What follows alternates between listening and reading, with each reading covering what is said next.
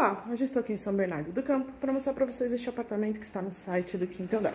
Começamos ali pela sala, esta é a varanda, a gente vê que bate bastante sol, a vista. Ali ao fundo, à direita, é a porta de entrada. A sala tem uma boa abertura para a cozinha, mas antes vamos conhecer aqui o quarto. O quarto tem a mesma vista da varanda. É o banheiro.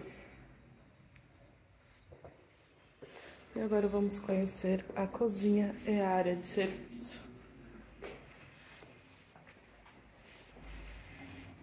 Espero que tenham gostado.